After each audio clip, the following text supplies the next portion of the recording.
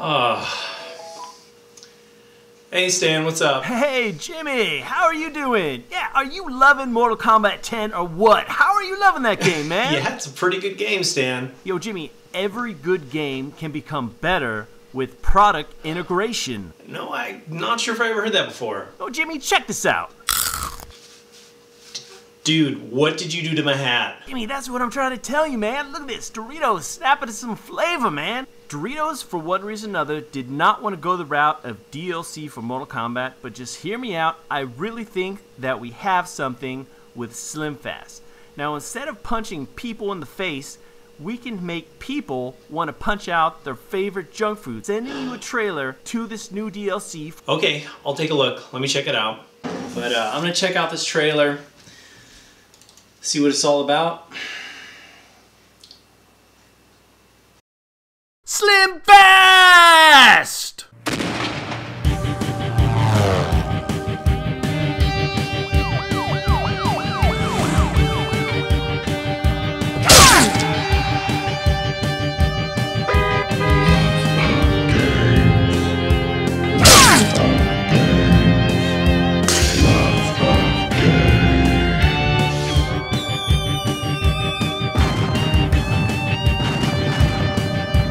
Kano, Johnny Cage, Scorpion, Debbie, Cindy, Stacy.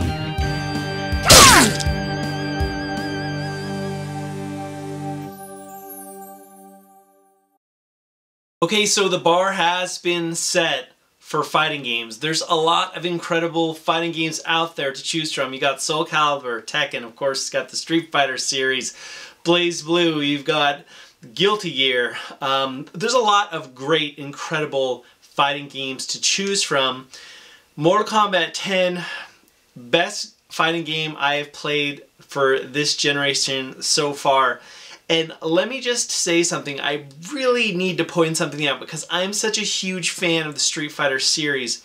Not too long ago, Capcom made the statement on how they really wanted Street Fighter V to be more accessible and more embraced. You know, it's going to sell a lot, but they want it to be really embraced by the gaming world. And let me just say, I hope, I really hope Capcom is taking notes and that their developers um, and, and their, their different departments have checked out the story mode for Mortal Kombat 10. Okay, so now that we're talking about the story, let me just get right into it.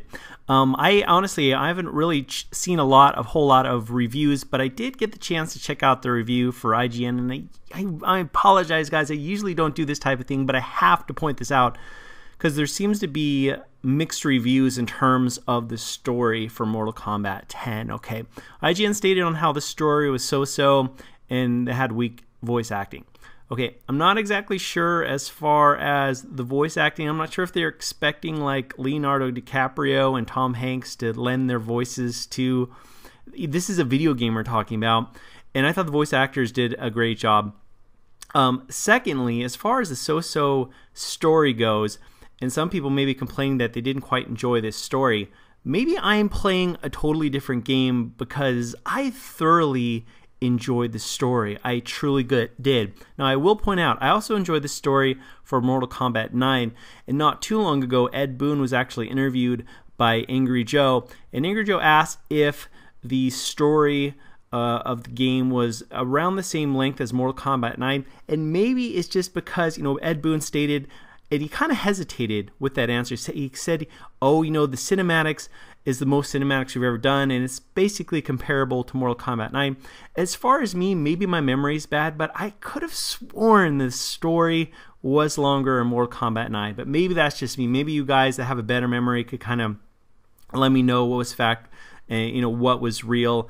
Uh, but not knocking the story, I truly enjoyed the story. I really like the cast of characters. Very, very diverse. Um, and they were so much fun to play with. Just again, I just cannot praise the story because I really, really enjoyed it. Um, it, it was it's kind of funny and interesting though because with the different character models, um, I uh, you know with Sub Zero, I just kept thinking about uh, Billy Mays uh, that infomercial guy. Uh, he, like he, didn't want to fight me. I almost thought he wanted to sell me something. So with a fighting game, having solid, crisp gameplay is just so so important. And for the most part, Mortal Kombat 10 truly nails it. The action is so fast, it's so furious. Um, of course, obviously, got hundreds of different moves. Um, I did, though, notice that there was an occasional frame rate drop here and there. Hopefully, that can get fixed with uh, future patches for the game. But for the most part, uh, the gameplay and the frame rate was pretty good, really good. Uh, let's talk about online gameplay. Now, one of my knocks when I did the review for Mortal Kombat 9 was that the online frame rate, there were major drops. The net code really wasn't that good. And I will have to say, as Mortal Kombat 10, while the net code is not perfect, it is by leaps and bounds an improvement. And honestly, that was one of my big concerns for this game. I'm like, you know what? It's a fighter. A lot of these fighters, the net code isn't that good. Ed Boon actually addressed this, and they really have done an amazing job. And I hope that they continue to hone um, and improve the net code for for Mortal Kombat 10, improve things. But again, leaps and bounds. Really enjoyed it. I was actually pretty impressed with how fluid uh, the games and the matches went online. I have to hand it to NetherRealm Studios. Excellent, fantastic job. There, guys, is just so much content in Mortal Kombat 10. You've got towers and all these challenges. And with these different, some of these different towers that I played, you're thrown into these matches with various um, obstacles, um, and and these things come. It's just crazy and insane and wacky uh, in the direction that some of these matches could could go. Um, also, what I really was so excited about um, to be able to play the the crypt. Uh, this does not get old. I was like, yes, they're bringing they got the crypt. Being able to explore in the crypt um, added a whole new twist of the gameplay in terms of do you able to get lots of really awesome unlockables and gameplay wise, in this first person mode of being able to unlock uh, the like fatalities and art, uh, oh man, I can. I'm thinking about it. I cannot wait to go back to the crypt. So much fun, so addicting, and a great way. People like, oh man, I got a this DLC. Obviously, for to unlock everything, you have to get some DLC, but there's so much that you can unlock in the crypt, and it just adds a, a great additional um, bonus in purchasing Mortal Kombat 10 to be able to play through the crypt. Oh, so much fun.